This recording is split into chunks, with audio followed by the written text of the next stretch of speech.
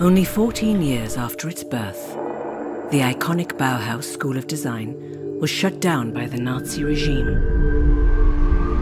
Many treasures and unfinished masterpieces were left behind, lost to the world.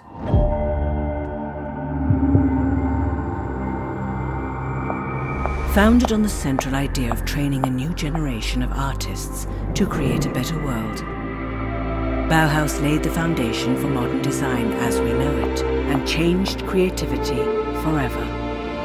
But in 1930s Germany, the progressive ideas of the Bauhaus were considered threatening and the school's closure became inevitable.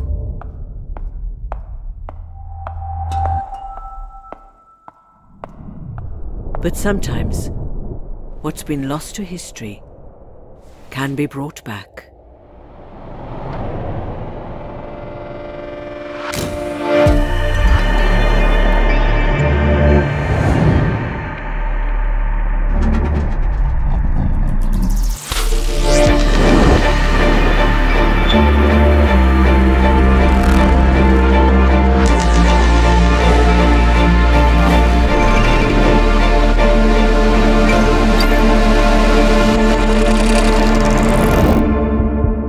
The influence of Bauhaus lives on, and now you can design with a piece of living history.